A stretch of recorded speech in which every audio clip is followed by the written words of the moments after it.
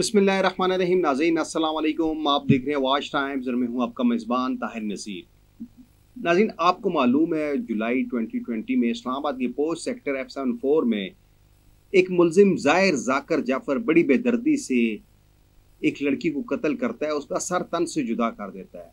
आज उसकी इस्लामाबाद की मकामी अदालत में उसकी पेशी थी समात हुई। आज मैं समात में आपको बताऊँगा कि क्या हुआ। काफ़ी लंबी समात रही और इस दौरान जो मरकजी मुलजिम था, उसने घुटने क्यों टेके? कौन सा मुलजिम कमरा अदालत में रो पड़ा?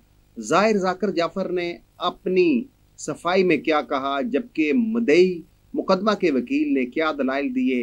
क्योंकि यही कहा जाता रहा कि आज चार्ज फ्रेम ना किए जाए। बहुत लंबी समात थी। उस पूरी समात का अहवाल लुबे लुबाब में आपको बताऊँगा कि आज केस में हुआ क्या है। और दूसरा नाजिन आपको मालूम है कि मोटरवे पर एक और गैंग रेप का केस सामने आया है। एक दोशीजा जिसको मुलाजमत का जानसा देकर बुलाया गया और चलती गाड़ी में उसके साथ मुबैना तौर पर इज्तमाही ज्यादती की गई। हम पहले सुनते थे कि हमारे अजली दुश्मन भारत में चलती गाड़ियों में गैंग रेप होते हैं, लेकिन अब ये काम पाकिस्तान जैसे मुल्क में होना शुरू हो चुका है और आज गोजरा के करीब एक दोशीज़ा को नौकरी का बहाना बनाकर उसको बुलाया गया। उसके बाद चलती गाड़ी में उसके साथ रेप किया गया और रेप के दौरान एक और उन मुलजमान के साथ खातून थी कि उसकी आँखों के सामने उस चलती गाड़ी में असले के ज़ोर पर उस खातून की इज़्ज़त तार तार की गई और उसके बाद जो वो मुलजमान थे, उन्होंने उस खातून को फैसलाबाद इंटरचेंज के करीब फेंक कर फरार हो गए। बात पहले करूँगा नूर मुकदम कत्ल केस की। आज इस्लामाबाद के एडिशनल सेशन जज अता रबानी ने नूर मुकदम कत्ल केस की समात की। दौरान समात मरकजी मुलजम ज़ाहिर जाकर जाफ़र जाकर जाफ़र, असमत आदम जी इफ्तार और इसके अलावा जान मोहम्मद और एक और उनका मुलाजिम समेत बारह मुलजमान, थेरापी वर्क के मालिक समेत बारह मुलजमान अदालत में पेश हुए। जो मदई मुकदमा के वकील, शौकत अली मुकदम के वकील थे, वो भी पेश हुए और उन्होंने कहा, जी, फ़र्द जुर्म आयद कीजिए। इस पर जो मुलजिम हैं, उनके वकील रिजवान अब्बासी ने कहा कि फ़र्द जुर्म अभी आयद मत किया जाए, क्योंकि हमें अभी डॉक्यूमेंट्स नहीं मिले और फ़र्द जुर्म की कार्रवाई नहीं बनती। तहम इस दौरान जो मरकज़ी मुलजम है, ज़ाहिर जाकर जाफ़र, वो बार बार मुदाखलत करता रहा, जिस पर वकील रिजवान अब्बासी जो जाकर जाफ़र के वकील हैं, वो कहते हैं कि मैं इसका वकील नहीं हूँ, लेकिन इसी दौरान जो मुलजिम है, उसने अदालत में कहा कि मुझे एक फ़ोन करने दे, मैं इस केस को मज़ीद मज़बूत कर देता हूँ।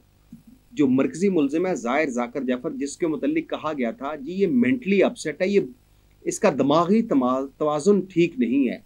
लेकिन आज कमरा अदालत में उस जालिम दरिंदे से शख्स ने यह कहा, जी, कि नूर मुकदम ने अपने आप को कुर्बानी के लिए पेश किया था।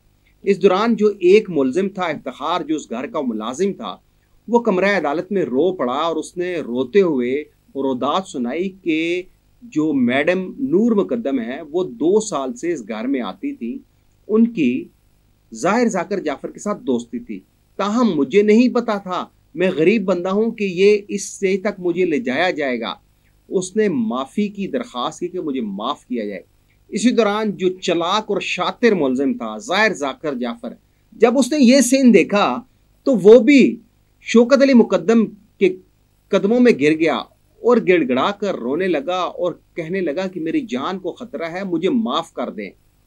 जो मरकजी मुलजम ज़ाहिर जाकर जाफ़र है, उसने कमरा अदालत में यह भी कहा कि मेरी प्रॉपर्टीज़ की यहाँ पे बात मत की जाए मरकजी मुलजिम बार बार अदालत से इस्तः करता रहा कि मुझे एक फ़ोन कॉल करने की परमिशन दी जाए। मैं इस केस को मज़ीद मज़बूत कर सकता हूँ। इसके अलावा मरकजी मुलजिम ज़ाहिर जाकर जाफ़र ने अदालत में यह भी इस्तः की कि मेरी जान को ख़तरा है। मुझे कैद कर दें या फांसी दे दें। अडयाला जेल में जाता हूँ, मुझे तशद का निशाना बनाया जाता है। लेकिन अदालत में जो मुलजिम जाकर जाफ़र के वकील थे, उन्होंने ये इस्तः की कि अभी फ़र्द जुर्म आयद ना किया जाए, हमें सीसीटीवी रिकॉर्डिंग नहीं मिली, दीगर दस्तावेजात नहीं मिले। लेकिन जो शौकत अली मुकदम मुदई मुकदमा है, उनके वकील ने यह स्टांस लिया कि तमाम दस्तावेजात मिल चुकी हैं और मुलजमान के ऊपर फ़र्द जुर्म आयद की जाए। अदालत ने बारह मुलजमान, यानी कि जाकर जाफ़र, ज़ाहिर जाकर जाफ़र, असमत आदम जी इफ्तार जान मोहम्मद, थ्रापी वर्क से छः मुलाजमीन, कुल मिला के ये बारह लोग बनते हैं। इन पर फ़र्द जुर्म आयद कर दी है और 20 अक्टूबर को जो दिगर इस्तगासे के दो गवाहान को तलब किया गया और उनके बयान रिकॉर्ड किए जाएँगे। लेकिन कमरा अदालत में आज नाजरीन, जब जायर जाकर जाफ़र जो कहता था कि मैं ब्रिटिश हूँ, मुझे उर्दू नहीं आती, आज उसने उर्दू में भी बात की। कमरा अदालत के बाहर निकलते हुए उसने उस वक्त भी उर्दू में बात की। उससे बारहा ये पूछा गया कि आपने कहा जी, नूर मुकदम ने अपने आप को कुर्बानी के लिए पेश किया। किसकी कुर्बानी थी वो? लेकिन इस पर वो कोई जवाब ना दे सका। अब जो इस्लामाबाद हाई कोर्ट ने दो माह में इस ट्रायल को मुकम्मल करने का हुक्म दिया है, आज चार्ज फ्रेम हो चुका है। इस इस्तगासे के गुहान की तलबी शुरू हो चुकी है और यही उम्मीद की जा रही है कि दो माह के अंदर अंदर नूर मुकदम को बेदर्दी से कत्ल करने वाले मरकजी मुलजिम ज़ाहिर जाकर जाफ़र, उनके वालदेन और दीगर जो भी इस केस में मुलविस हैं, उनको कड़ी से कड़ी सज़ा मिलेगी। इसके अलावा नाजरीन, आपको मालूम है कि आज फैसलाबाद मोटरवे इंटरचेंज, मोटरवे पर टोबा टेक सिंह के करीब दो मुलजमान ने एक 18 साल लड़की के साथ चलती गाड़ी में ज्यादती की है। ये चलती गाड़ी कहना आसान है, लेकिन वो जो दो मुलजमान थे उनके साथ एक और उनकी शरीक मुलजमा खातून भी थी। इन तीनों ने इस लड़की को मोबाइल पर मैसेज किया कि आपके लिए नौकरी है, एक बोतीक में तो आप गोजरा आ जाएँ।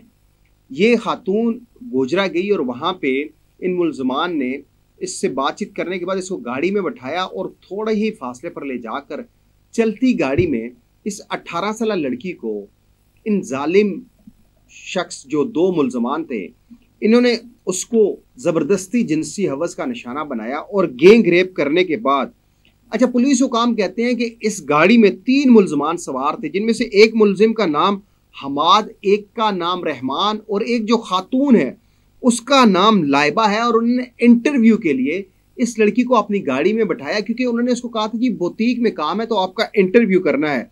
उसके बाद इसको पहले अगवा किया गया, असले की नोक पर इसको जिनसी हवस का निशाना बनाया गया, गेंग रेप किया गया और उसके बाद फैसलाबाद इंटरचेंज के करीब इस लड़की को फेंक कर चले गए।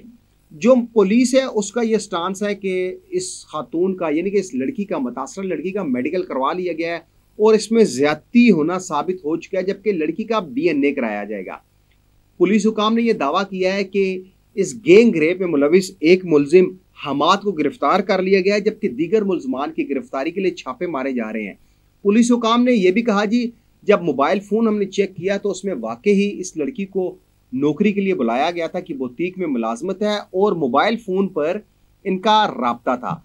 लड़की की खाला की मदैत में पुलिस ने मुकदमा दर्ज कर लिया है, एक मुलजिम को गिरफ़्तार कर लिया गया है, जबकि आपको मालूम है कि मोटरवे पर अक्टूबर 2020 में भी एक रेप का केस सामने आया था, जिसमें खातून की गाड़ी में पेट्रोल खत्म हो गया था और मासूम बच्चों के सामने एक वेराने में ले जाकर दो मुलजमान ने उस खातून की इज़्ज़त लूटी थी। उस पर बड़ी हाइप क्रिएट हुई सोशल मीडिया के ऊपर टारगेट का निशाना बनाया गया। लेकिन अब देखिए वो केस कहाँ पे है? पुलिस ने अनथक मेहनत के बाद अक्टूबर 2020 में आबद मली को इस केस में गिरफ़्तार किया था, लेकिन अभी तक वो केस हवाओं में चल रहा है, अभी तक उस मुलजिम को सजा नहीं सुनाएगी। अब ये एक और नया केस जो इस्लामाबाद मोटरवे पर आया, टोबा टेक सिंह के खिलाफ एक 18 साल लड़की के ज़बरदस्ती गैंग रेप का निशाना बनाया गया। पुलिस ने दावा किया कि एक मुलजिम हमाद को गिरफ़्तार कर लिया, ताम एक खातून और एक मुलजिम अभी तक गिरफ़्तार नहीं हुए। अब देखते हैं कि टोबा टेक सिंह पुलिस कब तक इन मुलजमान को गिरफ़्तार करती है, क्योंकि पुलिस हुकाम का कहना है कि मेडिकल रिपोर्ट में ज्यादती साबित हो चुकी है। देखते हैं कि कब तक इन मुलजमान को भी कैफरे किरदार तक पहुँचाया जाएगा। अगले प्रोग्राम तक लिए अपने मेजबान ताहिर नसीर को इजाज़त दीजिए। अल्लाह हाफिज़।